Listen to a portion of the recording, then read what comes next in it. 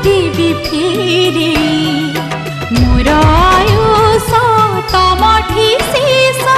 ମନକୁ ନେଇଛ ଚୋରି ଅଭିନେତ୍ରୀ ଅଙ୍କିତା ଦାସ ଆମର ଅତିଥି ଏଥର ସେଲିବ୍ରିଟି ଶୋରେ ଜୁଲାଇ ଏକତିରିଶ ତାରିଖ